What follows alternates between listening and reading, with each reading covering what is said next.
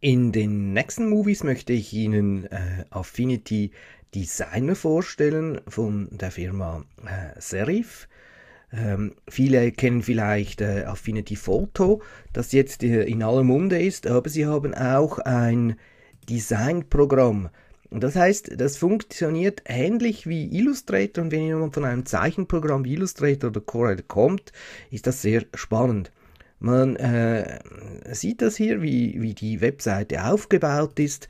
Man kann dann äh, direkt darauf gehen. Ich klicke mal hier hin und ich sehe, das Ganze kostet äh, um die 50 Euro oder 48 Schweizer Franken. Man kann aber alles auch mit der kostenlosen Testversion machen, das ich zeige.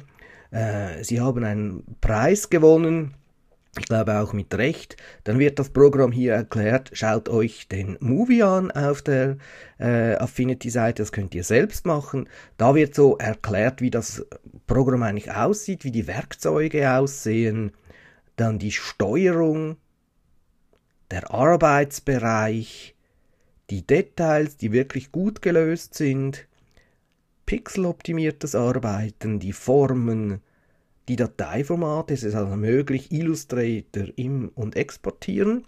Und da habe ich wirklich schon gute Erfahrungen gemacht. Ich habe das getestet.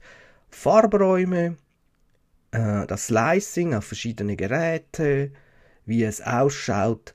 Schaut euch das Ganze mal an. In den kommenden Movies werde ich euch äh, zeigen, wie man mit dem Programm einigermaßen umgeht. Viel Spaß!